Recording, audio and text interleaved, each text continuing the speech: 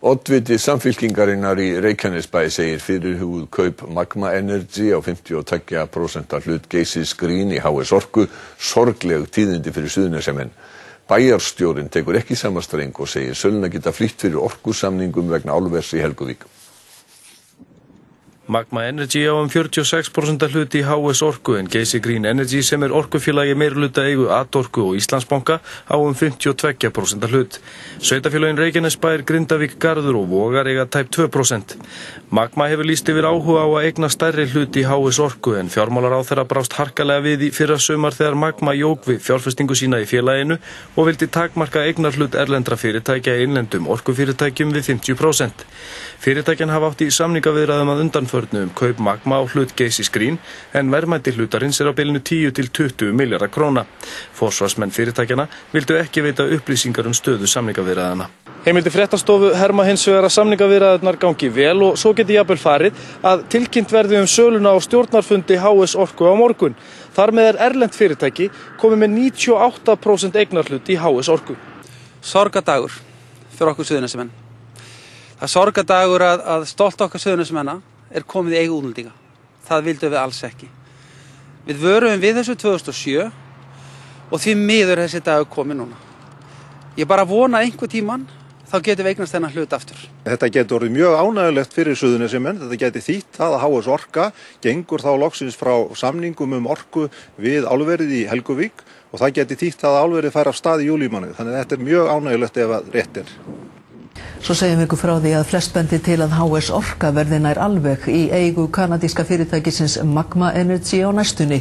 Það er því fyrsta sinn sem íslensk orkufyrirtæki væri að fullu í eigu erlendra aðila. Guðni Helga Herbersdóttir. Geysir grín á 52% hluti í HS Orku en Geysir er síðan í eigu Atorku, Íslandsbanka og fleiri sem vilja bæta eignastöðu sína með því að selja hlutin í HS Orku. Kanadíska fyrirtækið Magma Energy stopnaði dótturfélag í Svíþjóð til að geta eignast hlutin í háusorku en fyrirtæki utan evróska efnaðsvæðisins mega ekki eiga í íslenskum orkufyrirtækjum. Magma Energy á nú þegar 46% í háusorku en líkur eru á að fyrirtæki munu nú eignast 52% hlut Geysis Green.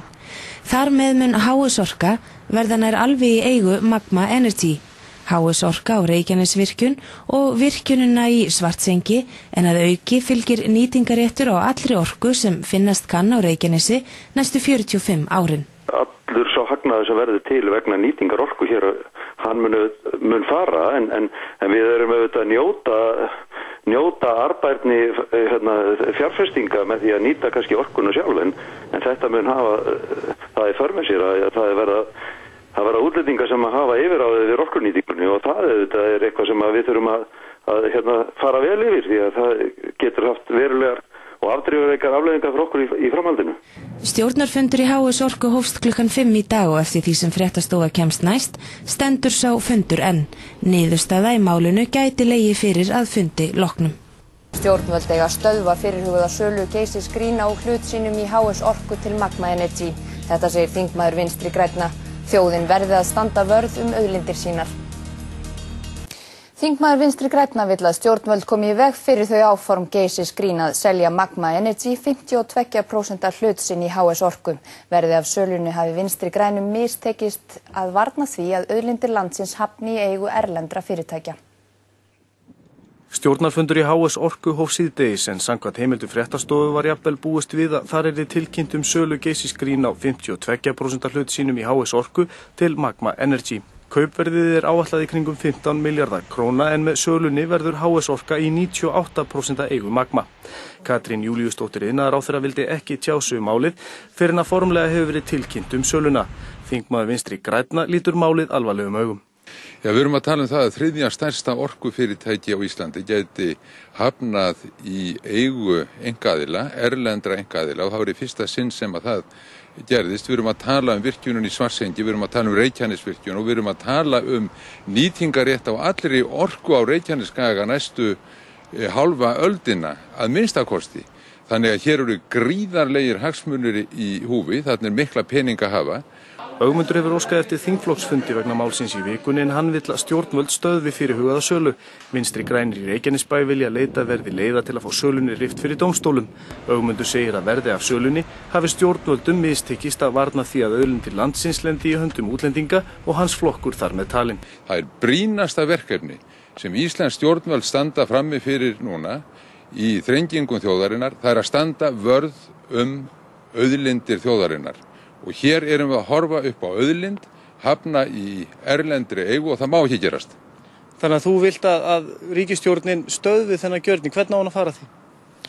Það veit ég ekki hvernig hún á að fara því e, að, að stöðva það. Það er hennar hlutverk og alþingis þá að setja lög sem að standa vörð um auðlindir þjóðarinnar og það verður að gera. Tómlæti er ekki valkostur í þessu máli. Raforka til álvera hefur verið seld of ódýrt hér á landi að sög fórstjóra Magma Energy. Hann búðar hækkun á raforkuverið til stóriðu. Raforka til álvera hefur verið seld of ódýrt hér á landi, allt of ódýrt. Þetta segir Ross Beatty, fórstjóri og stjórnarformaður kanadíska orkufyrirtækisins Magma Energy, en það kefti í dag hlut Geysis Green Energy í HS Orkum. Hann búðar hækkun á raforkuverið til stóriðu. Karin Kjartildóttir. Gríðarlegar deilur hafi verið megnarhaldið á orkunni í yðrum Suðunísja og þó engum og sér í lagi aðkomu erlandra fjárfesta að þessari auðlind Íslands. Geysir Green Energy hefur selgt dótturfyrirtæki kanadíska orkufyrirtækisins Magma Energy hlutsin í HS Orku. Á Magma nú ríflega 98% í fyrirtækinu. Hlutur Geysir Green í HS Orku var 52% en greiða á 16 miljardar króna fyrir þann hlut. Greitt verður í reyðu fjó og yfirtöku skuldabrifa en í fréttatilkynningu segir að hluti greiðslunar geti verið formi skuldabrifa í kanadíska móðurfélagi Magma. Sveitarfélagin Reykjanesbær, Grindavík, Garður og Vogar eiga rúm 2% af HS Orku á móti Magma. Ross Beatty, forstjóri Magma, segist vel gera sig grein fyrir andstöðu fólks við aðkomu erlendra aðila á náttúruöðlendum þjóðurinnar. Hann skilji þann óta en vilji sanna að Magma sé rétta fyrirtæki til að koma að rekstrinum, geti aukið verðmæti orkunar og skapað verðmæti störf. En hvernig eru? I think these prices really are low. They're they're uh, they're too low. They're extremely low. And they don't they don't account in the case of geothermal power. The prices don't account for the real cost of keeping the resource sustainable. This means more injection. This means better management of the resources, more careful exploration. I don't think the prices reflect the actual cost of running these businesses, and I hope in the future we'll have a higher price to reflect that. En hvað um verð til almennari notenda mun það ekki hækka? Og mun herra orku verð ekki fæla fyrirtæki festa frá landinu? Higher prices aren't so good for individual uh, homeowners, and, and we'll keep, try to keep those prices as low as we can. But for these big energy consuming companies, uh, the smelters and, and so on, they, first of all, I think they can afford to pay much higher prices mm. because the rest of the world charges higher prices. Mm. And, uh, and uh, you know, certainly from our standpoint, uh, higher prices means more revenue for the local municipalities through the royalty basis now. Mm. It means more tax revenue for the government. And I don't think there's economic development in a significant way. So, uh, you know, in the future, I, I expect there will be higher prices. How high, I can't say. Forstjóri Magma Energy segir að ríkistjórnin sendi misvísandi skilaboð en fyrirtæki hefur kipt allt hlutafér geysis grín í HS Orku. Stjórnvöld óskuðu árangurslaust eftir því að sölunni yrði slegið á frest. Magma Energy hefur kipt allt hlutafér geysis grín í HS Orku og fer nú með ríflega 98% hlutafjár í orkufyrirtækinu. Stjórnvöld óskuðu eftir því að sölunni yrði fresta en forstjóri Magma ákvaða verð ekki við þeirri byðni. Hann segir stjórnvöld senda misvísandi skilaboð. Magma greiðir 16 miljardar króna fyrir 52% hlut Geysis Green í HS Orku. Kaupverðið er greitt í reyðu fyrir auk þess að Magma tekur yfir skuldir Geysis Green við Reykjanesbæ. Magma leggur félaginu til 2,5 miljard króna í eigið fyrir en eigin fjár hlutfall HS Orku er um 40%. Kaupverðið þykir hátt í ljósi þess að óvist er hvort fyrirætlanir HS Orku um að stækka Reykjanesvirkjun gangi eftir. Auk þess er vaksandi anstaða innan sveitastjórna Grindavíkur og Hafnarfjörðar við áform HS Orku um að virkja á Krýsuvíkursvæðinu og í eldvörpum á Reykjanesi. Engu að síður stefnir félagið að því að auka raforkuframlegslu sína úr 175 í 405 megavött á næstu 5 árum en orkan er að mestu ætlu til álves norðuráls í Helguvík. We have hopes that we can resolve these. We also hope that we can prove ourselves to these, these anxious and concerned people so that in a few years they will be happy with us and they will say, You're the right company for us to be developing these. If we earn their trust and their confidence, we expect to be given the green light to go ahead with these projects. Stjórnvöld fóru fram á að sölunni er fresta þar til fjalla hefði verið um álið á ríkistjórnarfundi á morgun en allt kom fyrir ekki. Some people in the government wanted us to wait and others said go ahead. And so you always have this debate about how you announce. We are having a long term debate and, and, discussion with the government over lots of things. This isn't going to change in one day or two days. So we think the best thing is to get it out, get the deal, get the deal uh, advanced, and then sit down with the government in the days to come to try to resolve things that they are concerned about and do it in good faith. And we intend to do that. Who asked you to wait and who asked you to go ahead? Well, different. Uh, parts of the Icelandic government. You know, they, they don't always think the same way, and so uh, I think it's. I'm not I'm not a politician. I'm a geologist, but I think it's probably more political of me to say uh, nothing in that to answer that question. Ríkistjórnin var gaggrínd á alþingi í dag fyrir að, aðgerðaleysi í máli Magma og HS Orku. Innar á þeirra vísa gaggrínin á bug og bendir á að ríki fái forkaupsrétt á hlut Magma. Fjármálar á þeirra vill tryggja með lögum að arður af auðlindum renni til þjóðarbúsins. Sala geysis grín á hlut sínum í HS Orku til Magma Energy var rætt á þingflokksfundi vinstri græna í dag en almenn óanægja er innan þingflokksins með söluna. Eigló Harðardóttir, þingmaður framsóknarflokks, gerði málið að umfjöldunar efni við upphaf þingfundar í dag og sagaði ríkistjórnina um aðgerðaleysi í málinu og sagði að það veri enn eitt dæmið um djúbstæðan ágreining innan ríkistjórnarinnar um stefnu í orku og öðlindamálum. Ég vísaði algjörlega á bug vegna þess að þetta er þróun sem var, var komin á stað. Ríkið hefði þurft að setja mikla fjármunni í það að koma inn í, inn í þetta fyrirtæki á þessum tíma.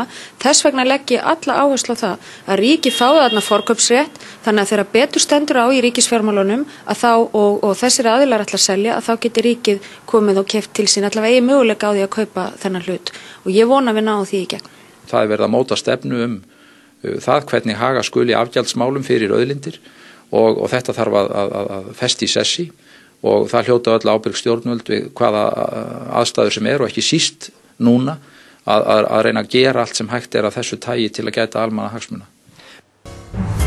Nýtingaréttur Magma Energy á íslenskum orkuauðlindum verður stýttur um alltaf 25 ár gangi áform ríkistjórnarinnar eftir.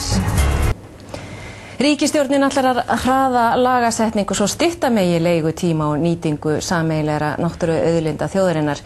Reynd verður að styrta nýtingarétt Magma Energy á Reykjanesi um alltaf 25 ár. Þetta koma fram á fundi ríkistjórnarinnar í dag. Karen Kjartansdóttir segir frá. Tilkynnt var um kaup dótturfélags kanadíska orkufyrirtækisins Magma Energy á hluti Geysis Green í HS Orku í gær. Með þeim kaupum fór HS Orkan er öll í hendur erlendra engaðila en innan við 2% eru enn í höndum sveitarfélaga á Suðurinnessum. Á ríkistjórnarfundi í dag var kynnti yfirlýsingum auðlendamál en í henni kemur fram að hraða í lagasetningu í samræmi við nýjútkomna skýrsla á vegum sérfræðinemndar um fyrirkomulag leigu á náttúru auðlendum í eigu ríkisins og auk þess á að takmarka leigutíma á nýtingu auðlindana. Einar á þeirra mun taka upp viðræðu við þá um að þetta verði allt í allt. Í samræmi við þá skýrslu sem að, að likur hér fyrir og er verið að vinna frumvar uh, í samræmi við það sem að þar likur fyrir að þetta verði 40-45 ári í það heila.